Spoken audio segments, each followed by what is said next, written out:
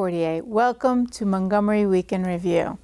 Montgomery County made history almost 40 years ago by creating the Agricultural Reserve to preserve farmland in the northern part of the county and creating zoning laws to make it possible. Scott Fosler, a former county council member, as well as the first host of this program, will comment. The Rural Maryland Council is concerned with the farms, the crops, and the animals raised in our state, as well as the farmers who are affected by changes. Charlotte Davis, the executive director of the RMC, will tell us the latest from the state. Recently retired for the second time from his employment with the county, which included work as special assistant to County Executive Ike Leggett and Marc Elrich as well as other jobs in the area of health and human services. Chuck Short has made many appearances on this program. He will look back on the way this county cares for the, its residents. Montgomery College continues to thrive with three campuses that provide classes to high school students, college students, and the more mature residents of our county. Brad Stewart, provost of the Takoma Park campus, will report. Well, thank you for coming to our show one more time. It was your show for a long time. What can you tell us about the last 40 years? Well, there's been both stability and change over 40 years. I want to say, first of all, congratulations to our producer, Carla Satinsky, who was the founder of this program and has carried it on all this time, and all of the folks who have been instrumental in making it such a success. And I was enormously proud to be part of that at, at the outset. Well, you guys were the pioneers who, we who got pioneers. it rolling and started, figured out the perfect format, and most importantly, which now we I think feel it the most, is getting our county and local news because nowadays yes. it's not so available. That's very very true. And at, when we started out, we were focusing on journalists of local newspapers. There are hardly any local newspapers anymore. Right. Right. So, what can you tell me about your observation of what, how, you know, the evolution of the county and and the different things with the agricultural reserve, which is so important. It was such a innovative idea back then, wasn't it? It was an innovative idea back then, and it was also um, in the context of a broader concern that we had with smart growth. We recognized that suburban sprawl just uh, could not continue. We did have the guidepost of the general plan for the Washington metropolitan area, known as the Wedges and Corridors Plan, in which we would have a combination of green wedges and high density corridors coming out from the District of Columbia. And the question was well, what will those green wedges look like? And at the time, we already had this wonderful agricultural community in Montgomery County. We were losing it very, very quickly and we knew we would ha- have to act quickly if we were going to preserve it. Absolutely. So the idea came up to establish an agricultural reserve of about one third of the county, uh, which is what those green wedges were for. that's we, amazing that, you know, oh, I, I, I think a lot of us don't realize how large the county is yeah. because a third of it is the ag reserve. A third of it is the ag reserve. Um, and when we adopted on the council the agricultural reserve zone, we also realized that there was a uh, problem of, of farmers uh, losing some of the potential equity in their land. So we established something called the Transferable Development Rights Program, which gave the farmer owners of that land certain development rights. While they couldn't develop it on the farmland, they could transfer it to the high density areas and preserve some of the, the capital as well as the land so that they could continue in real agricultural activity. So, how does a suburban county council come up with ideas like this? Um, in part because there had been advanced planning done. Okay. Uh, we, we, knew that uh, we had to develop a smart approach to growth. We couldn't mm. continue with the sprawl. And we also realized that the green wedges idea was important in this case not only for preserving agriculture, mm-hmm but also pr- for preserving open space, mm-hmm. okay. for green space, for recreational space. It's become kind of the green lungs of the the the, okay. uh, the Washington metropolitan area. Mm-hmm. Uh, so it served all of those purposes, and we saw it as a, a way of having compatible uh, land uses in, a, in a smart growth context. Well, context. it's also an environmental benefit too to have these open areas because of the trees and the grass. They're absorbing in, you know, car- carbon dioxide, which is helping to retain nutrients from flowing into the bay. exactly. Scott, I'm grateful to you and the council members for your vision, uh, and I suggest to our viewers, Mariana, that the next time you fly over the Washington area, Yeah. carefully look at Northern Virginia, of course, the district, but especially Northern Virginia and Montgomery County.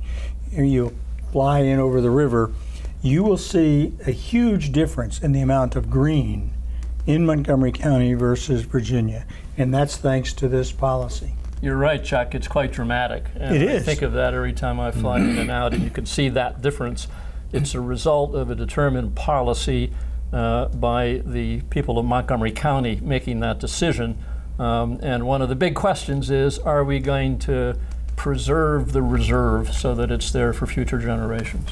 So for the future, what would you, in the next minute that we have left, uh, recommend to our folks on the county council and the audience about what what challenges the ag is facing and, and what we're going to need to continue to to support? Well, the, the county council appointed a, a, an agricultural reserve working group a few years ago. I was uh, a co-chair of it, and we looked at that question very carefully. And what it comes down to is, is pretty straightforward.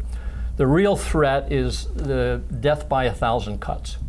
Constant pressure. Well, we can change this, we can change that, we can change this. And each of those changes is plausible, it makes a certain amount of sense, but when it begins to build up pretty soon, you no longer have an agricultural reserve. That's going to be the key challenge. Okay, so we're going to leave it at that, and hopefully everyone will continue to support the agricultural reserve, which Charlotte is a perfect uh, I segue in into nicely. your story. you guys coordinated, right? but um, so I I heard just Monday there was a really important case that came down that affects the agricultural reserve. Mm-hmm. Can you explain it to us? Sure. Um, there was a, a court case before the Court of Appeals that was looking at um, whether local governments have authority to preempt uh, decisions regarding uh, utility scale uh, renewable energy facilities. So large scale, we're talking, you know, not small, you know, utility scale, 100 megawatts more, um, 100 what- acres What is this? Is this like wind farms, sun, solar, farms panels? specifically, but also wind is, appor- is important. And the PS, uh, the Court of Appeals ruled that the Public Service Commission has sole authority in determining whether these facilities can be located in certain areas or not. Um, with the rationale that you know nobody wants to live next to a large public power, and this is mainly looking at you know the old gas-fired and coal-fired plants. Nobody wants to live next to a large-scale utility like that. Um, so that you know, let's Public Service Commission is going to decide where these go because it's every every neighborhood's going to object to it. And this trumps the The local, zoning, laws, right? because a couple of years ago we supported a, uh, a bill that was passed uh, that was proposed by MACO, the Maryland Association of Counties, that said the PSC needed to consider local zoning and their decisions, local ordinances when siting these facilities. Um, we're seeing intense pressure on ag land to convert, you know, open space to this ag, fertile, fertile ag land to, you know, renewable energy. And it's mainly being driven by the renewable portfolio standard, which everybody wants. You know, we want the Green New Deal. It is jobs, but we're, you know, the, the idea is we've got fertile agricultural land is the best land use to keep it in agricultural use for resiliency so that we have access to food. Or is it better well, to who has convert to eat, really? I mean, you know, Nobody is likes to eat. I guess. So where, breathe. so know? where should you put the panels? Well, and where we, should we put we the want to see that um, you know we look at uh, non-fertile land. You know the the brownfields areas. There's there's some land um, that's too, the soils are rocky in Maryland. So the the the more I'm trying to think of the name.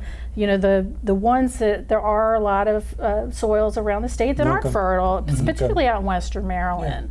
And there are areas in Western Maryland where wind is really would be Yep. really Right. well sited there, and we're just finding challenges with getting these these developments off the ground because the locals object. There's a couple counties with moratoriums. Frederick County had a moratorium on solar faci- facilities. Talbot County, Um, we have an offshore, we've had offshore wind facility mhm. proposed for many years that we haven't been able to get built because of these local issues and siting concerns. So we just had a controversy here in Montgomery County regarding the location of a single cell phone tower.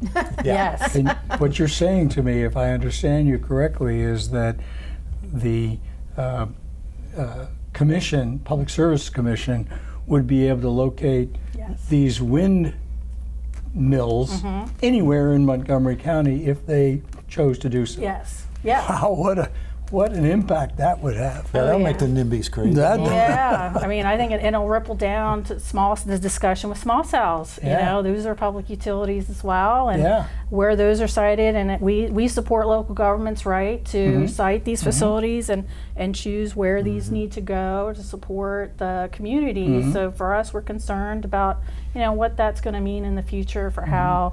Um, particularly for rural, since we're losing our rurality around the state Mm-hmm. and the benefits that come from having open space, and um, Well, remind the audience, what are the benefits of having open space? Well, it's generally for for recreational purposes, tourism, but environmental too. I mean, it's the trees, like I said before, trees and all these things. They they provide environmental benefits. Uh, they clean the air. They're retaining nutrients so that we're they're- we're not polluting as much into the bay.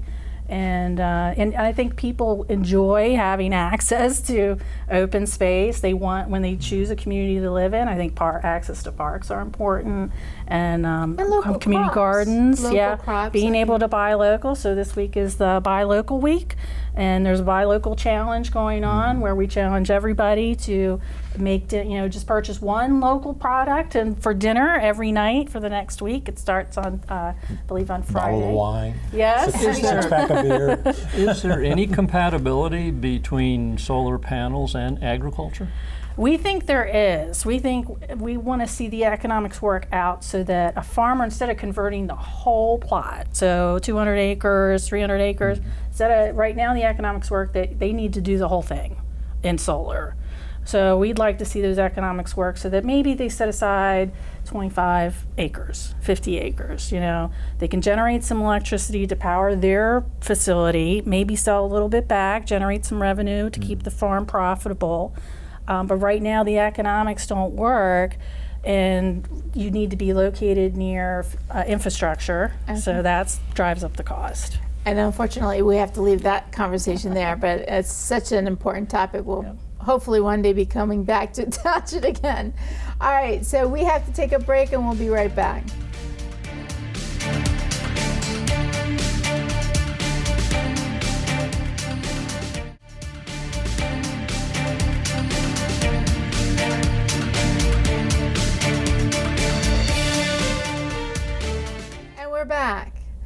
Chuck Short, thank you for being on the show. And I have to say, thank you so much for your dedication to Montgomery County. That is quite a, a wonderful and, and a, a career to be proud of.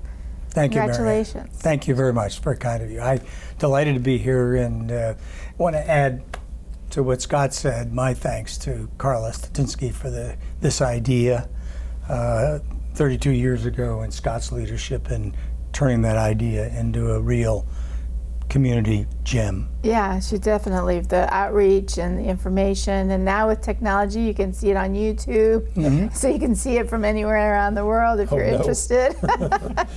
but uh, quite a pioneer in the thought of, of, of doing this for television, and uh, but a humble person. You can't catch her on camera; she refuses. but so, tell us a little bit about your experience and, and the trajectory that you've seen you know, serving uh, the county and the issues? Have they changed? Are they the same? Well, it, it's an interesting question. First, it's just been an enormous honor for me to serve this county for over 40 years, uh, to serve every county executive, county council members.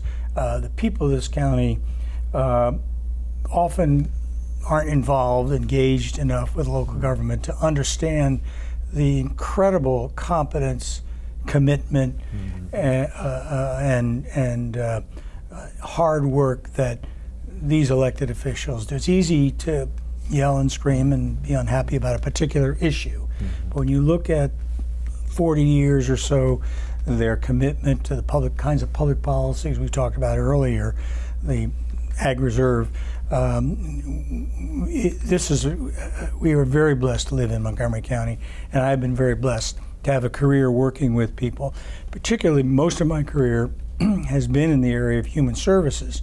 So I've worked with a great many volunteers and nonprofit agencies, and I'll tell you, these are good people. The people of this county are good people, and it, it it's made my job a joy, uh, and it certainly has made life and challenges for some of our most vulnerable people more bearable. Um, and uh, uh, so I, I've, I've just enjoyed it greatly. I think I joke I'm not sure how successful I've been uh, well, I was just going to say years. earlier we were talking, Yeah. and some of the issues you said that you guys were facing in this county in around you know, the 70s and 80s s- sounds like what we're facing Yeah, now. I'm, I'm thinking back. Just I'm not going to go back to 1973, but nine, to when this show started around 1988. So we our biggest issues then were um, affordable housing, immigration, um, substance abuse. Uh, don't they sound familiar? Yeah, I, I'm Um, like, you know, uh, nothing's and so- changed. Have we gotten a little bit better? I Yeah. don't Guess we have to work on it till we get it right. You know, we I think we've done a lot of good things in those areas. Uh, many, many good things. There's no doubt about it. But one of the things that I would point out that I feel is on the negative side of that um, is is I think the tenor of our civics of our civic conversation, unfortunately, has tracked a little bit the national um, tenor, and and and uh, we've become. Uh, uh, a little less polite than we It were. used to be you could agree to disagree, and That's then right. at the end of the day, still have a civil conversation. That's right. It seems like people hold it. Chuck, Closer. you, you've developed a reputation over many years as a kind of a, a, a model public servant at the at the at the highest level, Yeah. uh, and um, you've seen a lot of changes. Just talking about the environment and the like. What what advice would you give to public servants today and to young people thinking about coming into public service, given the environment that we have at the present time? You got a minute. Yeah. Well, I, I, first of all, I- the first thing I would say, and Scott and I taught together at the University of Maryland School of Public Policy, and first thing I said said to my students was go local. I encourage people to work in local government because you can really make a difference. Not that the national government isn't important, but local government you can really adopt the kinds of policies Scott talked about earlier. So that would be the first thing. The second thing is is that you need to I believe we need to keep as close as we possibly can to what the people are saying in Montgomery County. Um, bureaucrats sometime, and I was a bureaucrat for a long time, can sometimes think we know best. Better than the public. Um, and sometimes your we do, by the way. Some, you know, there, there, there's no, you know, but always the citizens, always our residents, uh, have important information for us, and I think that's That's something the, we need we're to. going to do. have to end it there, Yep. and it's a wonderful way Thank to you. end that session. Geez, I was waiting for the good stuff about the county executives. Yeah, no, no, no scandals or secrets being shared today. Oh, but crap. thank you so much. You have to wait for my. You have to wait for. You have to Yep. wait for my book. But I want to be your Okay. agent for that book. Well, so Montgomery College Yep. is sporting uh, now a solid one color. Is that? Well, we got purple and we got silver in there and a little bit of black. oh, it looks great. So tell us a little bit about Montgomery College. How's it doing? So Montgomery College, when I got here 15 years ago, uh, had just been named by the New York Times as one of the top community colleges uh, in the country. Uh, and that meant some interesting things. One, there was a big access part of that mission thing. Uh, and when I talked to people in Montgomery County, I mentioned I worked at Montgomery College. Everybody knows the college. Uh, and everybody would tell me a story about how the college was there for when somebody in their family or their circle of friends needed them. That's true. That's and it was kind true. of a great message, but uh, over the years I've been ruminating about that message as sort of, uh, well, that means we're a convenience institution. Uh, and what has happened recently at Montgomery College uh, is that we have gotten a lot bigger and better, uh, and I think we're turning into what I call a destination institution. what does Uh, that mean? That means that we now have the academic programs, for example, uh, that are going to be there for the careers of tomorrow and the careers of today. Uh, when I got here, I was told to double the size of the nursing program. Uh, we've done that and some. So we now admit 144 nursing students every semester. Uh, to the That's college. amazing. Uh, back then, our engineering program was pretty small. Uh, we now have the largest engineering program in a community college uh, in the country. They transfer to Georgia Tech, MIT, uh, RIT, all of those places. Uh, the latest thing we've been up to is a bunch of cybersecurity stuff. Oh, that's super important. That's yeah, like cutting edge. Cutting edge stuff. Uh, I predict that uh, Amazon will be knocking on our door shortly uh, to help us train uh, their workforce, and they'll, they'll need that Sure. uh, for us a while. So, um, community colleges have sort of become uh, well, if I can't do this, I can always go there to the place to go.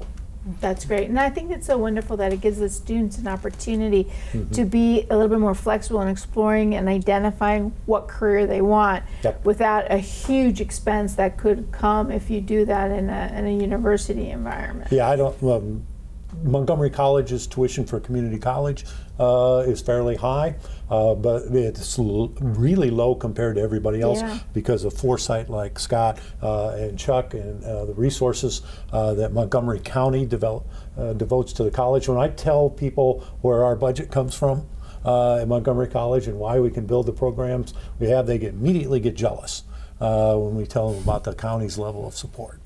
Uh, you know, I've always thought one of the great successes of Montgomery College has been its ability to reflect the diversity of Montgomery County. Montgomery County, over this period of years, Yep. it has been a, an enormously diverse place. It's become more diverse.